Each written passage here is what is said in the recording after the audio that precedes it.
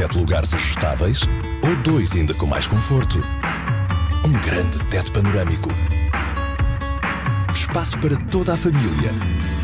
E claro, para a eficiência.